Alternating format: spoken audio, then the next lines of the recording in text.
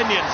The little figure of uh, Chebet, Beatrice Chebet, almost jogging, it seems, on the shoulder of Eilish McColgan. Happy to run wide on the bend, running another two or three metres there on the outside of lane one, alongside the Scot. Busienei back in third place. We mustn't discount a 500 to run, Rob, and it's anybody's race.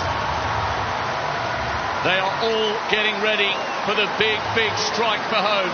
And listen to the roar as they hit the bell. Busienei gets to the front. McColgan has her stride checked.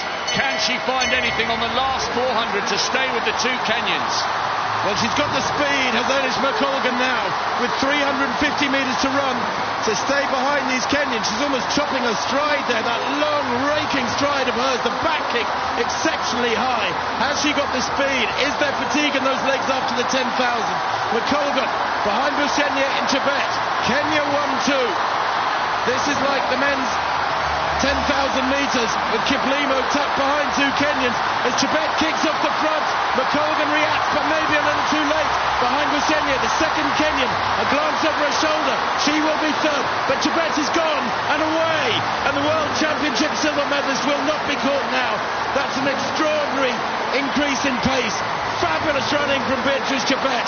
Kenya will take gold in the 5,000 metres. She has blasted away. That's 25 metres in the space of 150. She's opened up. It's going to be gold for Kenya all the way. Beatrice Chebet punches the air as she crosses the line. A superb Scottish silver for Eilish McColgan. And a beautiful bronze for Busienei there. Selah Busienei, 12th in the 1500 eight years ago.